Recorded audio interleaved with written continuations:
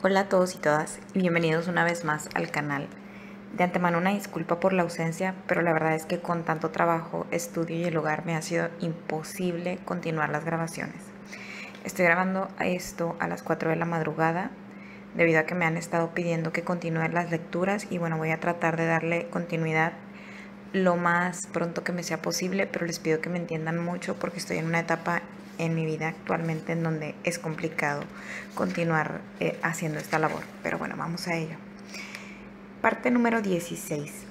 Los carbohidratos y la fibra protectora. El humilde hidrato de carbono es objeto de controversia. ¿Es saludable o es perjudicial? Desde mediados de la década de los 50 hasta los 90, los carbohidratos fueron los buenos de la película, los héroes. Bajos en grasa, se suponía que iban a salvarnos de la epidemia de enfermedades del corazón, hasta que la entrada en escena de Atkins a finales de los años 90 los transformó en villanos dietéticos. Muchos partidarios de Atkins evitaron todos los carbohidratos, incluidas las verduras y las frutas. Por lo tanto, ¿son beneficiosos o perjudiciales los carbohidratos? La insulina y la resistencia a la insulina impulsan la obesidad los carbohidratos refinados como el azúcar y la harina blancos ocasionan el mayor aumento de los niveles de insulina. Estos alimentos engordan bastante, pero esto no significa necesariamente que todos los carbohidratos sean igual de nocivos. Los carbohidratos buenos, las frutas y las verduras enteras, son sustancialmente diferentes de los malos, el azúcar y la harina. Es probable que el brócoli no te haga engordar por más que comas pero tomar cantidades incluso modestas de azúcar puede provocar aumento de peso. Ambos son carbohidratos, pero ¿en qué se diferencian? El índice glucémico y la carga glucémica. El doctor David Jenkins de la Universidad de Toronto comenzó a abordar este problema en 1981 con el índice glucémico. Los alimentos fueron clasificados según su capacidad para estimular los niveles de glucosa. Dado que las proteínas y las grasas alimentarias no hacían subir la glucosa en sangre de una forma apreciable, se les excluyó del índice glucémico, que mide solamente los alimentos que contienen carbohidratos. En el caso de estos alimentos, el índice glucémico y el efecto de estimulación de la insulina están estrechamente correlacionados. El índice glucémico se basa en raciones idénticas de 50 gramos de carbohidratos, por ejemplo, podemos tomar una ración de alimentos como la zanahoria, la sandía, la manzana, el pan, una barrita de cereales y harina de avena que contenga 50 gramos de carbohidratos y luego medir el efecto de cada alimento sobre la glucosa en sangre. A continuación se comparan los alimentos con el patrón de referencia, la glucosa, al que se le asigna un valor de 100. Sin embargo, puede ser que una ración estándar de alimento no contenga 50 gramos de carbohidratos. Por ejemplo, la sandía tiene un índice glucémico muy alto de 72, pero solo el 5% de su peso está constituido por carbohidratos. La mayor parte del peso de la sandía es agua. Habría que comer un kilo de esta fruta para obtener 50 gramos de carbohidratos, mucho más de lo que comería una persona en una sentada. Una tortilla de maíz, sin embargo, tiene un índice glucémico de 52. El 48% del peso de la tortilla son carbohidratos, por lo que solo habría que comer 104 gramos, una cantidad próxima a la que sería razonable ingerir en el contexto de una comida, para obtener 50 gramos de carbohidratos. El índice de carga glucémica intenta corregir esta distorsión por medio de ajustar el tamaño de las raciones. La, sandía resulta ser una carga glucémica muy baja de 5, mientras que la tortilla de maíz la tiene alta de 25. En cualquier caso, tanto se utiliza el índice glucémico como la carga glucémica, se ve que hay una clara diferencia entre los carbohidratos refinados y los alimentos tradicionales no refinados. Los alimentos refinados occidentales presentan un índice glucémico y una carga glucémica muy altos. Los alimentos enteros tradicionales tienen una carga glucémica baja, a pesar de contener cantidades similares de carbohidratos. Esta es una característica distintiva esencial como refleja la figura 16.1. Los carbohidratos en sí mismos no engordan. Su toxicidad reside en la forma en que se procesan. Y luego vamos a ver un cuadro que dice valores de carga glucémica en algunos alimentos habituales. Y aparecen hasta mero arriba con un índice glucémico de 70 los copos de maíz. luego con alrededor de 65 la sacarosa, luego el cereal Cheerios con un índice glucémico de 55, luego las palomitas de maíz con un índice glucémico como de 47, luego va bajando, ¿no? Dice chocolatina Mars con un índice glucémico de 40, pan blanco con un índice glucémico de 35, pan de trigo integral aprox con ese mismo índice glucémico, luego baja más la patata hervida con un índice glucémico de 19, el boniato con un índice glucémico de 12 aproximadamente, el arroz integral lo mismo, el plátano lo mismo, la uva con un índice glucémico más bajo como de 9, ahí mismo en esa misma altura la zanahoria, un poquito más bajo la manzana con un índice glucémico aproximadamente de unos 8, la sandía como de unos 7 y la naranja como de unos 5 aproximadamente. Dice aquí, el refinado hace que aumente significativamente el índice glucémico porque con este procedimiento, los carbohidratos son purificados y concentrados. La eliminación de la grasa, la fibra y la proteína hace que los carbohidratos puedan digerirse y absorberse muy rápidamente. En el ejemplo del trigo, la molienda moderna mecánica que ha reemplazado casi completamente al molino de piedra tradicional, pulveriza el trigo en el fino polvo blanco que conocemos como harina. Los consumidores de cocaína sabrán que los polvos muy finos se absorben en el torrente sanguíneo mucho más rápido que las partículas más gruesas. Esto es lo que da lugar a subidones más intensos, tanto en el caso de la cocaína como en el de la glucosa. El trigo refinado hace que los niveles de glucosa aumenten. A continuación, crecen los niveles de insulina. En segundo lugar, el refinado estimula el consumo excesivo, por ejemplo, para hacer un zumo de naranja se puede necesitar 4 o 5 naranjas. Es muy fácil beber un vaso de zumo, pero comer 5 naranjas no resulta tan sencillo. Al eliminar todo lo que no es carbohidrato, tendemos a sobreconsumir lo que queda, es decir, el carbohidrato. Nos lo pensaríamos dos veces antes de comer toda la fibra y demás elementos de 5 naranjas. Con los cereales y las verduras ocurre algo análogo. Afrontamos un problema de equilibrio. Nuestros cuerpos se han adaptado al equilibrio de nutrientes que presentan los alimentos naturales. Al refinar estos alimentos y consumir solamente un determinado componente de ellos, el equilibrio se pierde por completo. La gente ha estado comiendo carbohidratos sin refinar durante miles de años sin padecer obesidad ni diabetes. Lo que ha cambiado recientemente es que hoy día nuestra fuente principal de carbohidratos son los cereales refinados. El trigo, el cereal elegido por Occidente. El trigo ha sido durante mucho tiempo un símbolo de nutrición. Junto con el arroz y el maíz, fue uno de los primeros alimentos cultivados en la historia de la humanidad. Sin embargo, en estos días, con la sensibilidad al gluten y la obesidad, se ha quedado sin amigos. Pero, ¿cómo puede ser tan perjudicial? Como vimos en el capítulo 9, el trigo se ha cultivado desde la antigüedad. Pero en la década de los 50 resurgieron las preocupaciones maltusianas acerca de la superpoblación y la hambruna mundial. Norman Borlaug, que más tarde ganaría el Premio Nobel de la Paz, comenzó a experimentar con variedades de trigo de mayor rendimiento. Así nació la variedad de trigo enano. Hoy en día se estima que el 99% de todo el trigo que se cultiva en el mundo es la variedad enana o semienana.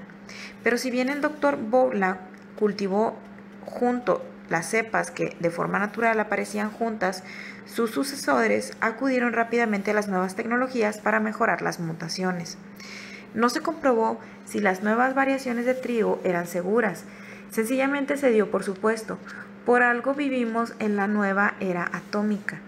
Está claro que las variedades de trigo enano de hoy no son las mismas que las de hace 50 años. El experimento Broadbalk sobre el trigo documentó los cambios experimentados en cuanto al contenido nutricional durante el último medio siglo. Aunque la producción de grano se disparó durante la Revolución Verde, su contenido en micronutrientes se desplomó. El trigo de hoy día no es tan nutritivo, nutritivo como se consumían las generaciones anteriores. Esta no es seguramente una buena noticia. Otra pista del cambio que ha experimentado el trigo nos la da el enorme aumento en la prevalencia de la enfermedad celíaca, una reacción contra la proteína del gluten que daña el intestino delgado. El trigo es con mucho la fuente principal de gluten en la dieta occidental. Al comparar muestras de sangre archivadas de miembros de las Fuerzas Aéreas durante un periodo de 50 años, los investigadores descubrieron que la prevalencia de la enfermedad celíaca parece haberse cuadruplicado. ¿Puede deberse a las nuevas variedades de trigo? Esta pregunta aún no ha sido respondida satisfactoriamente, pero la posibilidad de que así sea es preocupante. Los métodos de procesamiento han cambiado de forma significativa a lo largo de los siglos.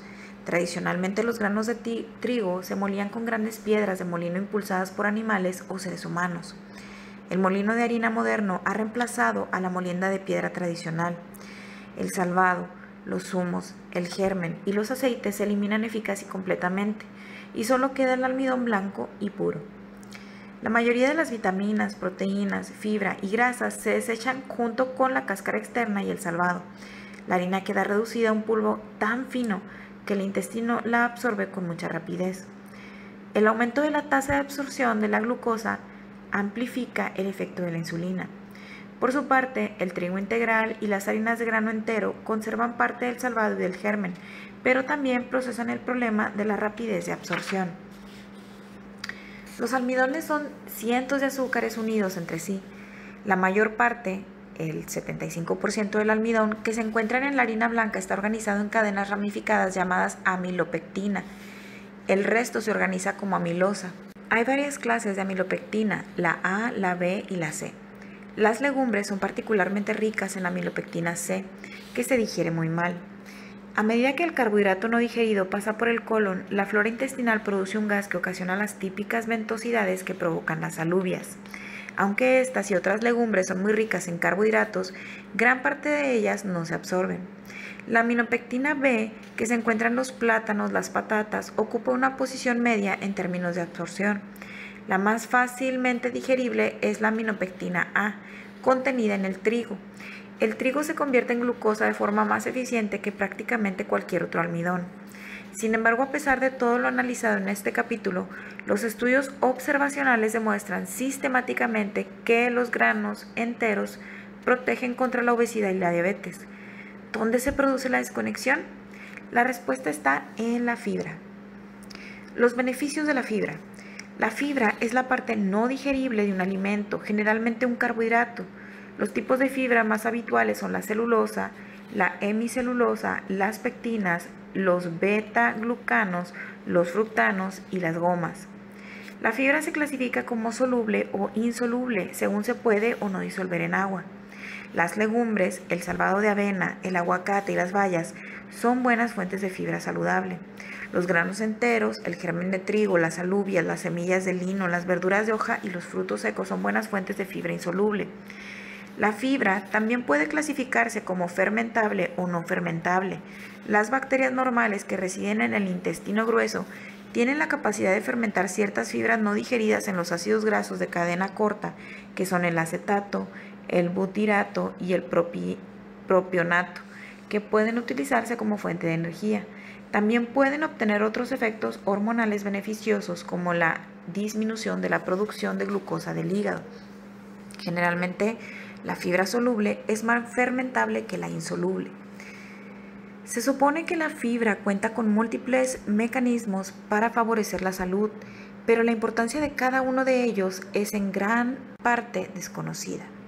Los alimentos ricos en fibra requieren más masticación, lo que puede ayudar a reducir la ingesta de alimentos.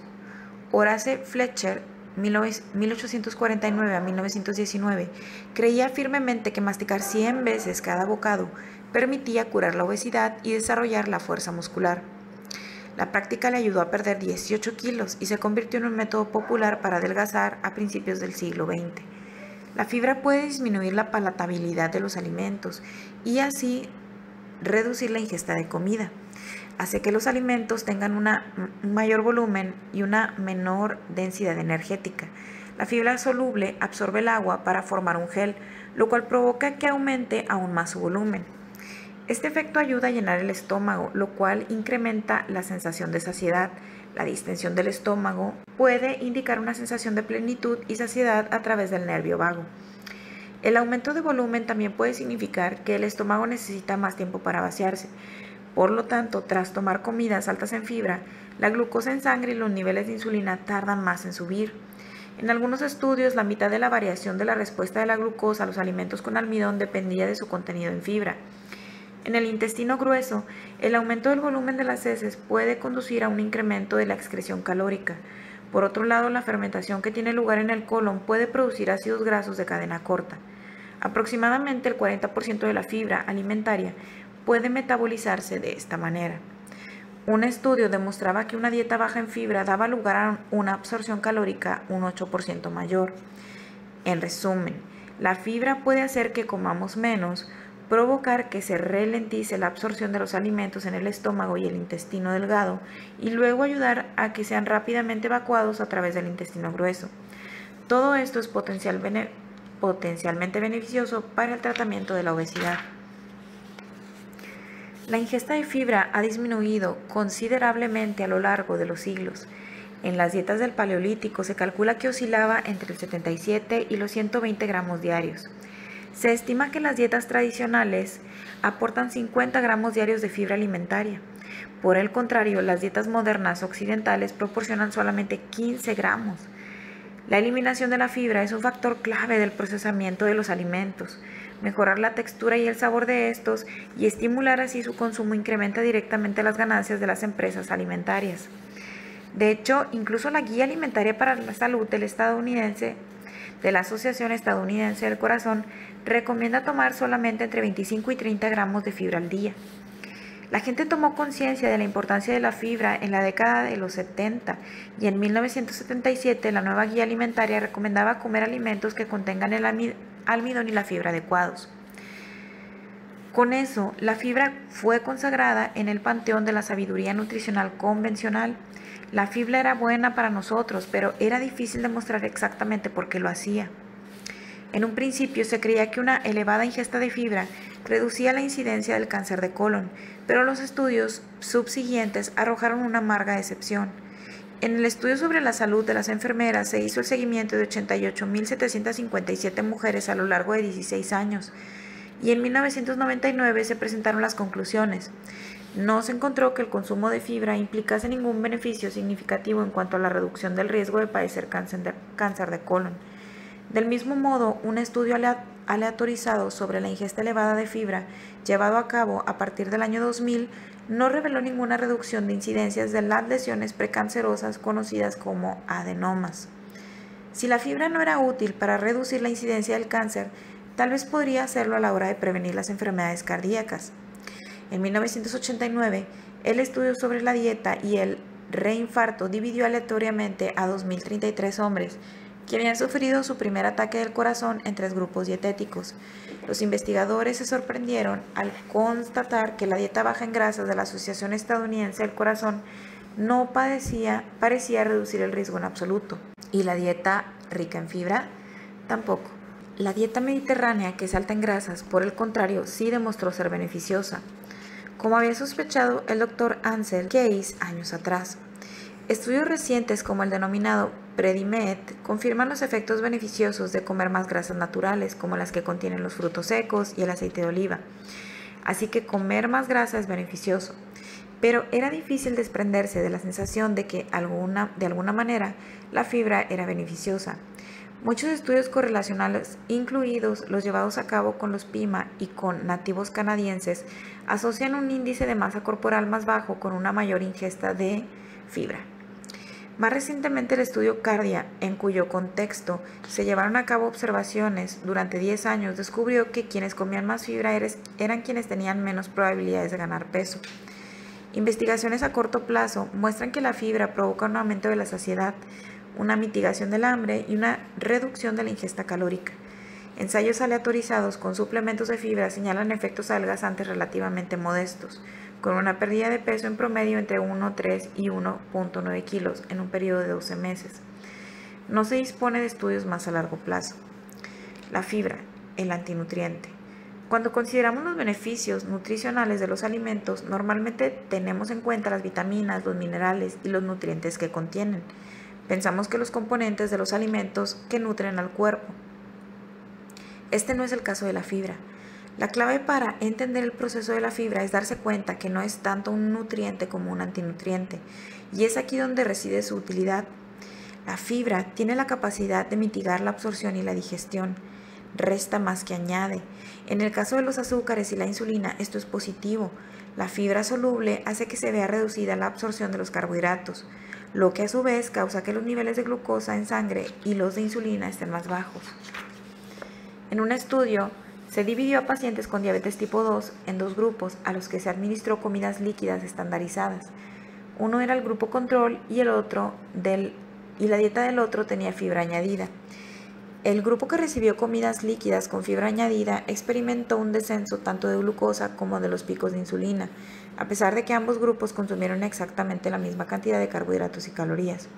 Puesto que la insulina es el principal impulsor de la obesidad y la diabetes, es beneficioso que se vea reducida.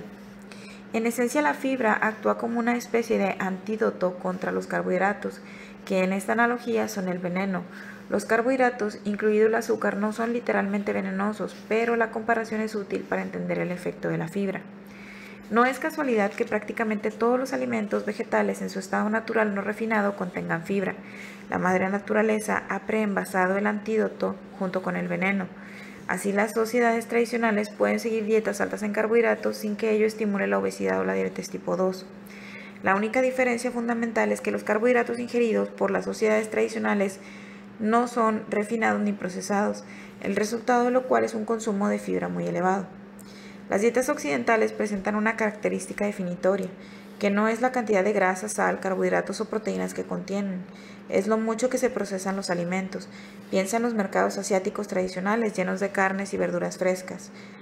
En las culturas asiáticas muchas personas compran comida fresca diariamente, por lo que procesar los alimentos para extender su vida útil no es necesario ni está bien considerado.